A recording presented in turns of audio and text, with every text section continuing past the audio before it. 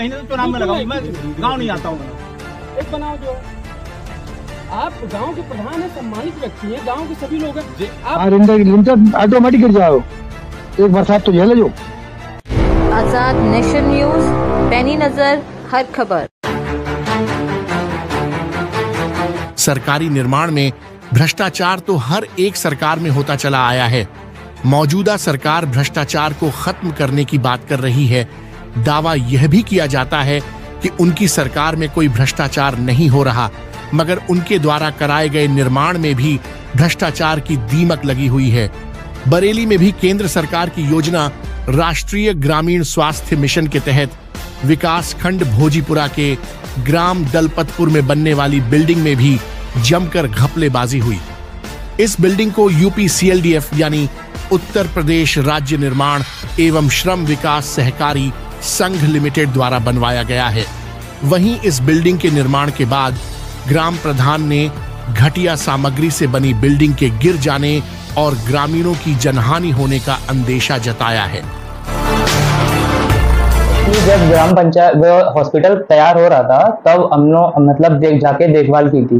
तब वहाँ पे जो बुनियाद भरी जा रही थी, वो भी बहुत पीला ईट लगी हुई है तो एक्चुअली जो मटेरियल लगा हुआ है, वो भी बहुत मतलब अच्छी क्वालिटी का मटेरियल नहीं लगा हुआ है। अब वो क्या करा है उन लोगों ने? हमने जेई साहब को कंप्लेन की थी। जेई साहब ने हमें आश्वासन दिया कि मतलब हॉस्पिटल दोबारा तोड़वा के दोबारा बनवाएँगे।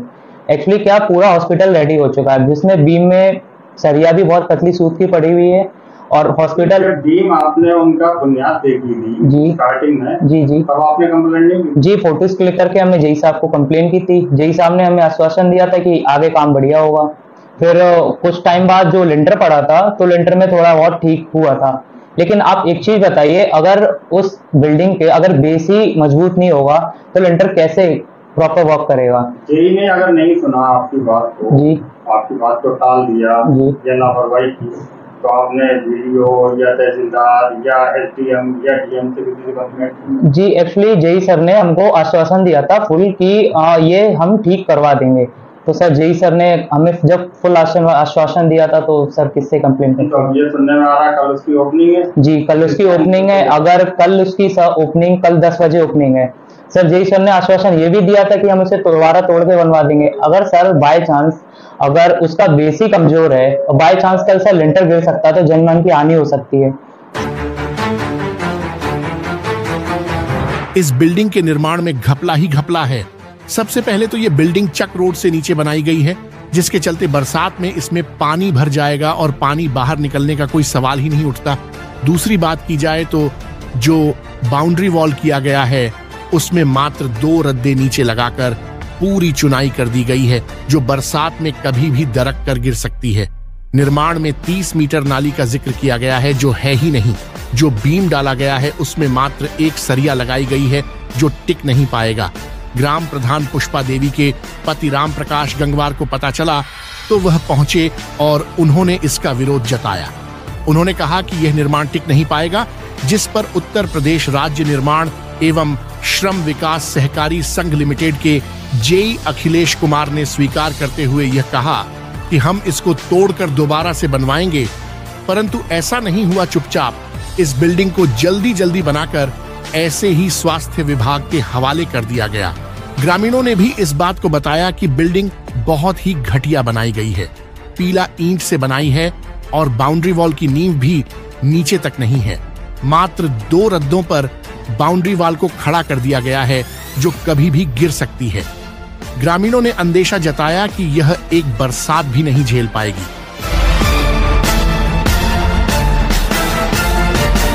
इसमें साहब जो बगैर बुनियाद कुआ है बुनियाद खुद रही तो हम आए भरी जा रही तो आए साहब।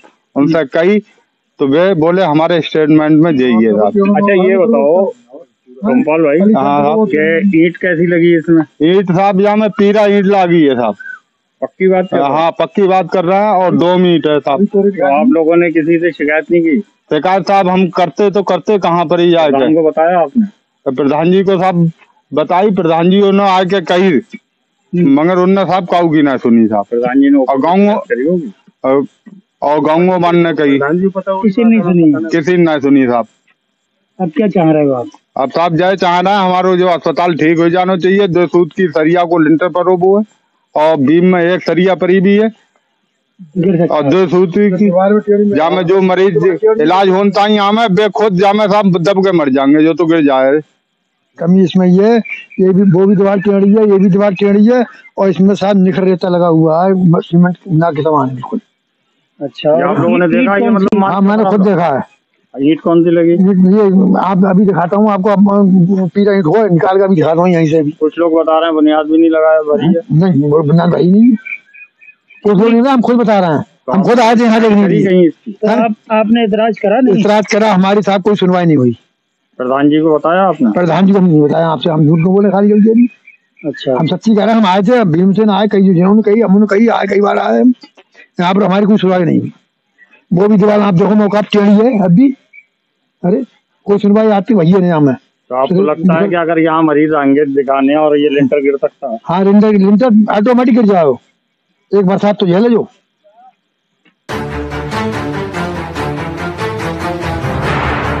इस निर्माण के लिए ठेका 31 लाख इकहत्तर हज़ार रुपए में दिया गया है, जबकि दर्शाया मात्र तीन लाख इकहत्तर हज़ार रुपए है। 15 मई को एमओआईसी सतीश कुमार चौधरी इस बिल्डिंग का उद्घाटन करने पहुँचे, जिस पर ग्राम प्रधान पुष्पा देवी और उनके पति तथा ग्रामीणों ने इसका विरोध किया और कहा कि आप जिस बिल्डिंग का उद्घाटन कर रहे हो, यह बिल्डिंग पीला ईंट से बनाई गई है। साथ ही इसकी नींव भी गहरी नहीं है। हमारे गाँव के लोग यहाँ पर दवा लेने आएँगे। यह बिल्डिंग गिरी तो जनहानि हो सकती है, इसलिए हम उद्घाटन नहीं करने देंगे। जिस पर एमवाईसी सतीश कुमार ने भोजीपुरा थाना पुलिस को बुला लिया और जबरन फीता काटकर उद्घाटन किया। प्रधान जी से बात हुई हमारी जो है, उनकी जो समस्या थी तो हमने उसको अच्छे से सुना जो है है ना? बस ये था कि प्रधान जी को कहीं से लिखित में उनको पहले मुझे अवगत करा देते तो ये और भी तुरंत हम लोग उस पर एक्शन लेते जो है है ना? खैर, प्रधान जी ने भी बताया, उनकी बातों को हम लोगों ने अच्छे से सुन लिया है, ठीक है? और इस पे उचित हम लोग ज़रूर कार्रवाई करेंगे।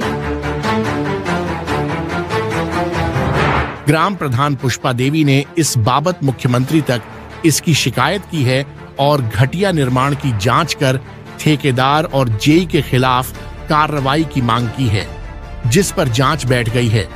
अब देखना यह है कि किन किन भ्रष्टाचारियों के खिलाफ कार्रवाई होगी, या फिर यह जाँच भी भ्रष्टाचार की भेंट चढ़ जाएगी। नमस्कार, आप देख रहे हैं आज़ाद नेशन न्यूज़। अगर आप हमें YouTube पर देख रहे हैं तो हमें सब्सक्राइब करें। बेल आइकन को दबाना न भूलें, ताकि हमारी खबरों की लेटेस्ट अपडेट आप तक पहुँचती रहे। वीडियो पसंद आने पर लाइक करें। अगर आप हमें फेसबुक पर देख रहे हैं तो लाइक और फॉलो करना ना भूलें। देश, दुनिया की तमाम खबरों के लिए विज़िट करें। हमारी वेबसाइट www.azadnationnews.com